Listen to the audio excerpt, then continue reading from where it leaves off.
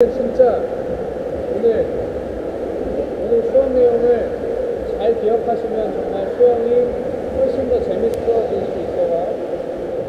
지금도 잘 하시지만 이거 진짜 잘 배우세요.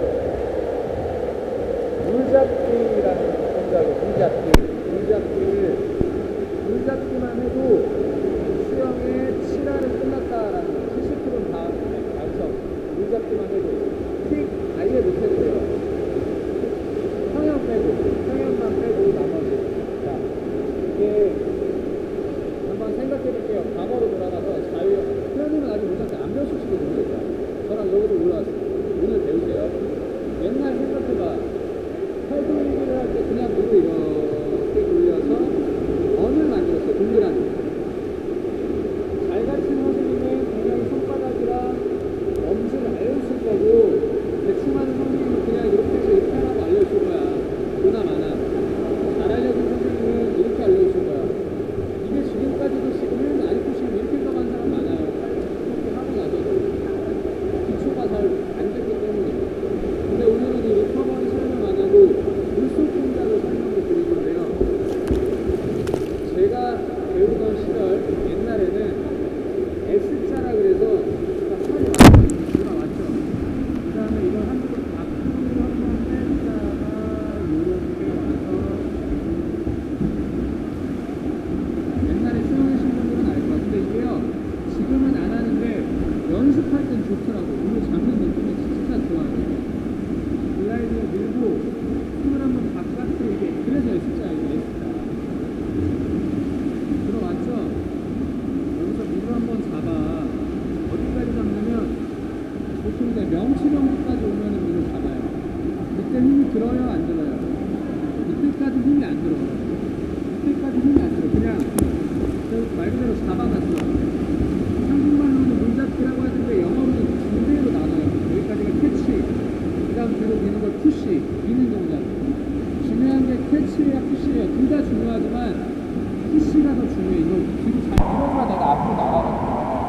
네? 오늘 이거를 한번 연습, 하지만 처음 해보시는 분들은 S자도 한번 해보실 만해요. 저도 그걸로 배웠어요.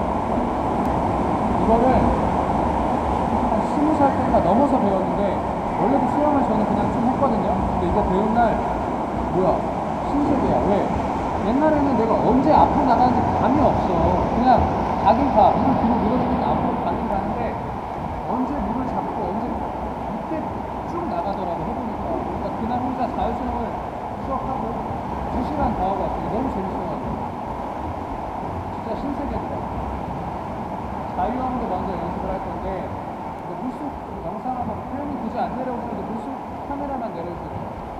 어떻게 물을 잡고 어떻게 미는지 회원님들 눈으로 한번 보세요. 자, 수경 끄시고 물속에서 보세요.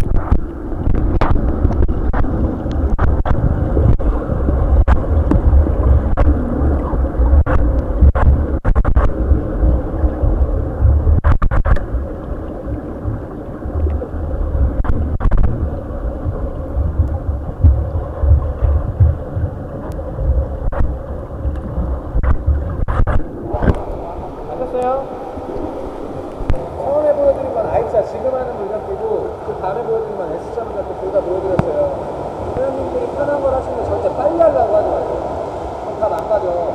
천천히 잡혔다. 어떤 느낌이냐면 액체가 아니라 고체 있잖아요. 젤리 젤리 그런 뭐가 거기 내 손에 담겨 있어야 돼요. 그 다음에 그 젤리를 뒤로 밀어줘야 돼요.